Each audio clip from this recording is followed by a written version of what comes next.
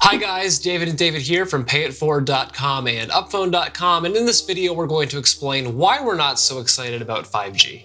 5G sounds great, but do we really need it? Is the question.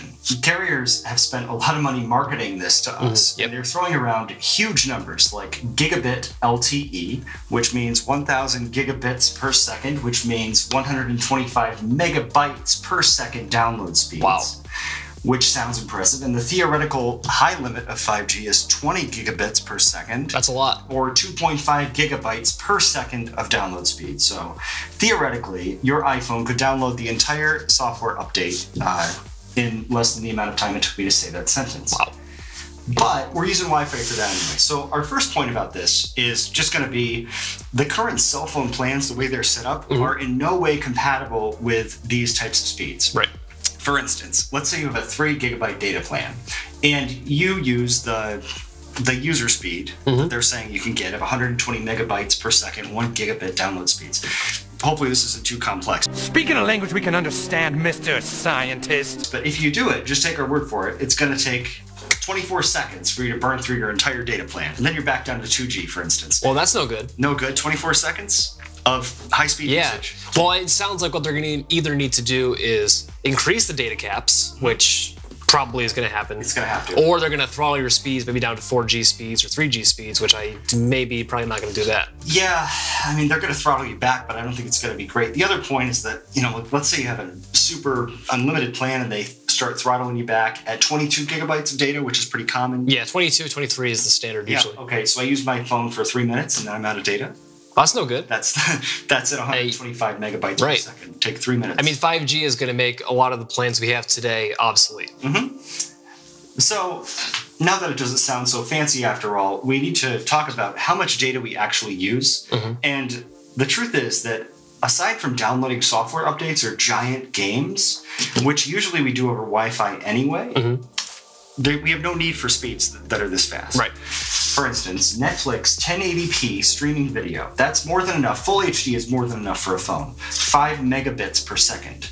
So that is 0.005 of the one gigabit per second. So we get we're talking five megabits per second, which is like five out of a thousand. Yeah.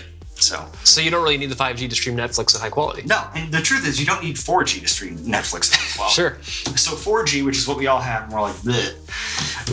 4G was getting slower for a while. Yep. Because more and more people were connecting to the cellular networks with 4G phones. So in 2015, it was super fast, and then 2016, 2017, it got less quick. Mm-hmm. Then it went back up in 2018 and 2019, and now it's been nice and fast for a while. So Verizon's average 4G download speeds are 53 megabits per second. AT&T 37, T-Mobile 36, Sprint 32. 1080p streaming 5. So we're already like way over. We have, we have more than we need mm-hmm. right now.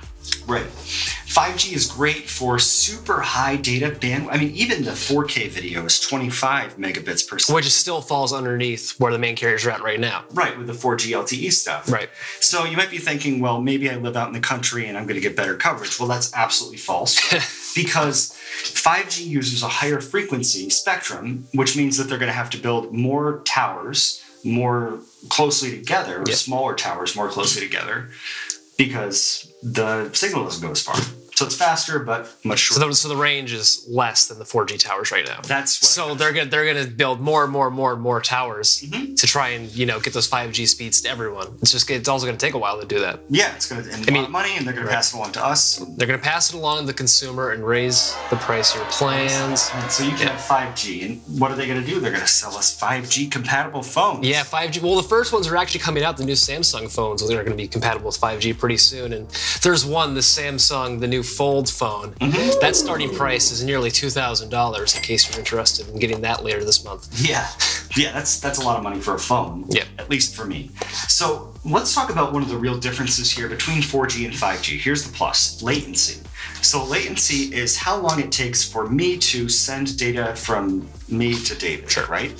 So in 4G, we're talking anywhere between 20 milliseconds and 70 milliseconds. 20 one thousandths of a second. So mm. that's how long it takes with 4G. It's pretty fast. And that's how long it takes with 5G. A little it's bit, a little bit faster. Much faster, so much. like up to one millisecond. But which is faster, they're both. I mean, to, to to the user, it feels you know essentially the same. Yeah. yeah, 20 milliseconds and one millisecond to a person. Mm-hmm. Yeah, well, 19 thousandths of a second faster. Who cares? I'm not going to notice it, but the carriers are going to brag about it. That's for They sure. are. So, if you've ever noticed, you make a phone call to somebody like a video call, and it takes a fraction of a second for it to connect. That fraction of a second might go away, but the, the speed of the call has everything to do with the servers, and it's already fast enough to do a video call with 4G. There's Sure. other things that are involved in this process. Okay. Now, uh, as a musician, this might actually be a cool thing, though. Here's where latency, I think, could come in handy. Uh, where it's 20 milliseconds or 70 milliseconds. If you're playing live music with somebody across the country and there's a 70 millisecond lag, you're going to hear that with the drummer, and the, things are going to be out of sync. But with one millisecond, they're not going to be out of sync. So if you're playing like a live band situation, which really isn't even possible today, people are like, "Why would? How would I be able to play live music with Right. my friend in New York and Europe?" We're going to be able to do that with with 5G networks theoretically, as long as the other connections are as fast. Well, as that that doesn't sound like a really widespread usage of Use the case? yeah. Pretty pretty specific use case. Three guys in three different cities trying to play music at the same time.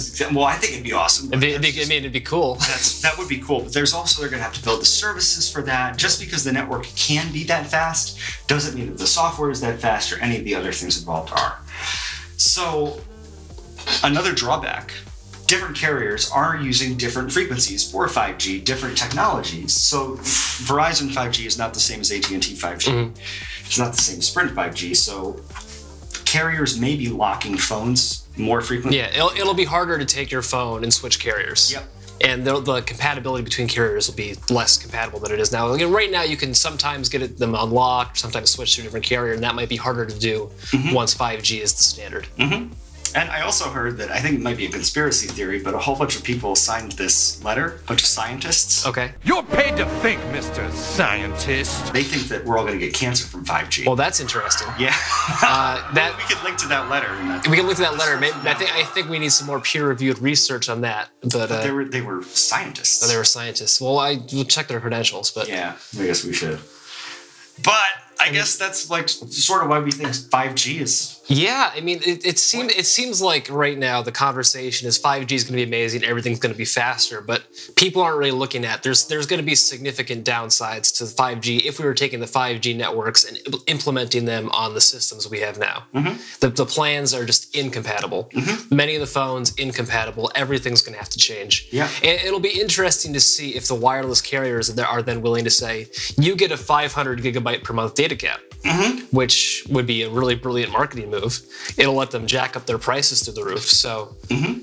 the carriers are going to benefit a lot from this. Plus, they're constructing towers, and they're going to pass that on to you, mm-hmm. and More towers. and their stock prices are going to go way up. And yeah, it's just they've created this race for themselves. Yeah.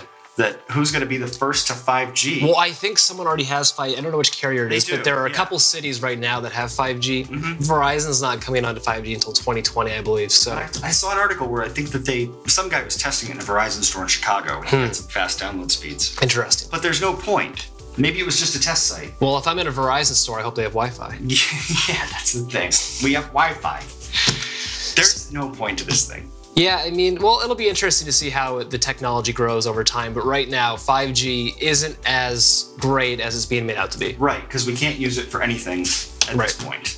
Right now, it almost seems like it's a marketing move. Like, oh, T-Mobile, we have 5G. Yeah. We're going to be the first ones to do it. Samsung, we have the first 5G phone. Oh, nobody can connect to 5G right now, so it's kind of pointless. Yeah, for for sure. So that's 5G. I want we want to hear from you in the comments section Yeah. below. Are we way off the mark here? Um, we'd like to hear your thoughts on 5G if you're excited about it. If you're not, maybe someone could come in with more of a a data background, some sort of scientist come in and and a scientist to confirm or deny the The fi- the 5G cancer theory. We'd like to hear that too. Don't forget you have a duty to your country, Mr. Scientist. Here's- That that sounds like a good future video. it does sound like a good. We'll have to, we'll have to do some more research on that. 5G give you cancer.